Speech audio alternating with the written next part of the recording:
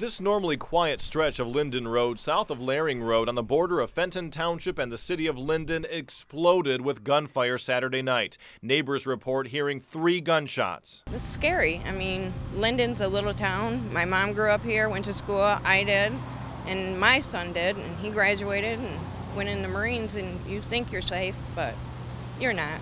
I mean, it happens everywhere.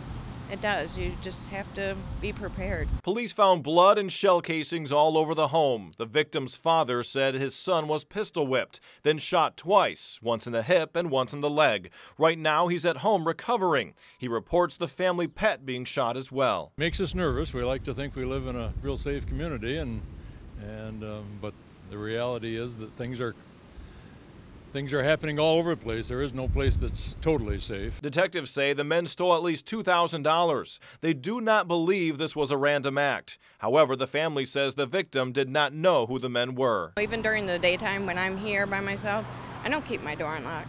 I always lock my door because you don't ever know. Never. And this just shows you. The family says it moved out of Flint about a year ago to get away from this kind of violence.